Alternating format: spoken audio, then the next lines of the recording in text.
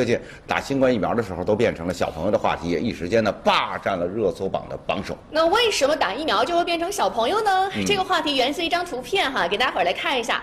有许多网友发现自己接种新冠疫苗的时候，这医院的屏幕上显示的都是小朋友某某某到您接种疫苗了。那这样的叫号系统呢，没有年龄限制，系统都是通通叫成小朋友，就问你是不是离呃感觉很开心 啊？你发现没有？就是成年人的快乐其实就是那么简单。不仅如此哈，乖乖接种疫苗的小朋友们还可以到留观室里去看动画片。嗨这留观结束之后呢，医院的屏幕就会提醒了，说家长可以带小朋友回家了。还有网友获得了小红花。这真是拿咱们当小朋友啊！之所以会有这样的操作的原因也很简单，就很多这个接种地点呢都是儿童接种中心，系统呢都是固定给小朋友们看的。当然呢，我们成年人也就享受了一次孩子们的待遇。顺便看一个动画片儿哈。是啊有了当这个小朋友的待遇之后，有很多网友就表示说：“哎呀，好可爱呀！突然有一点期待打苗苗了。这个截止到四月十号，全国累计报告接种新冠病毒疫苗已经达到了一万六千四百四十七点一万剂次。各地呢，为了鼓励民众接种疫苗，还推出了许多的举措。而且你发现没有，就是各种标语真的挺有意思的。比如说这句：“